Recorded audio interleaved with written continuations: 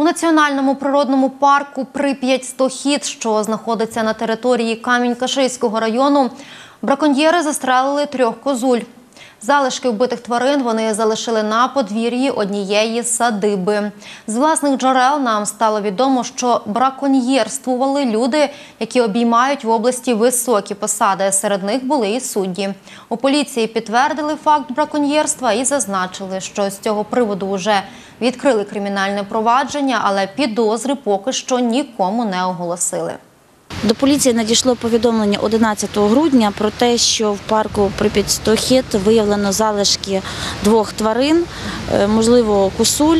На місце виїжджала слідчо-оперативна група, провела огляд місця події, вилучила ці залишки, направила на експертизу. За цим фактом відкрите кримінальне провадження за статтею 248 Кримінального кодексу України незаконне полювання. Зараз встановлюються всі обставини, опитуються очевидці. Можливо, є одна така з версій, що можливо тих тварин вбили на тій території, де це можна робити. Можливо, просто там їх розробляли. Це одна з версій. Врешті зараз е, розшукують тих, хто може бути причетним до скоєння правопорушень.